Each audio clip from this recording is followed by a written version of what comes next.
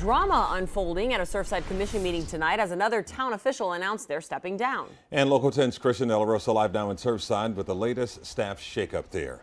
Christian.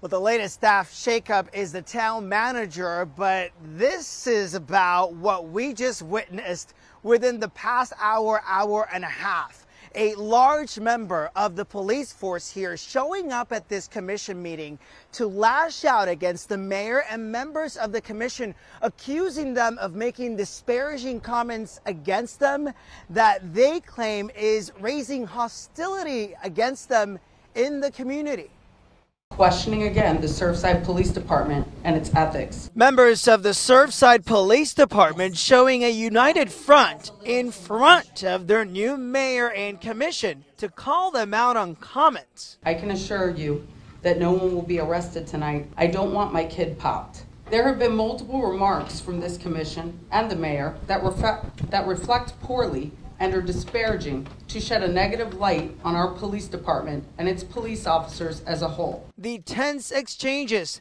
follow the controversial arrest of a political activist for battery on the former vice mayor for the previous administration.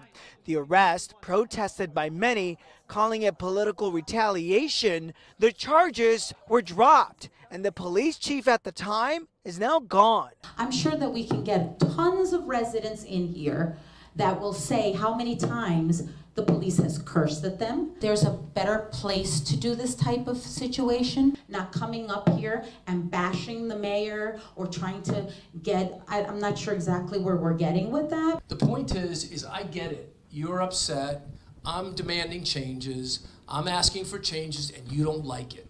Okay? So you inflect, you infer, you say things so that people think that I'm against the police. You even said that I talked about defunding the police. You said that.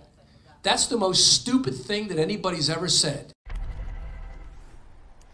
The mayor alluding to changes such as reducing police shifts from 12 hours to 8 hours, asking police officers to do away with their dark window tinting, and asking officers to wave and smile at residents more often, but members of the police force tell me this has nothing to do with any of that.